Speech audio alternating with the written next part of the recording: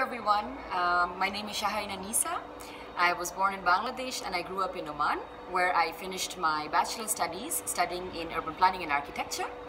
And then I moved to Germany for my master studies, and here I studied urbanism uh, and sustainable design.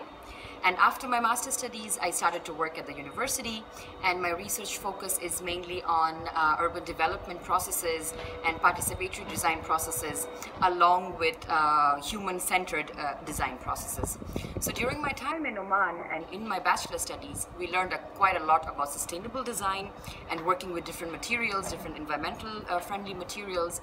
And I was a part of a project uh, which aimed at designing Oman's first eco-friendly building.